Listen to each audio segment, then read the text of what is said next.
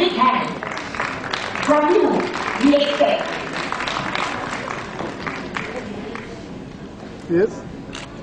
We will not give awards to Vidyan, student conference winners from March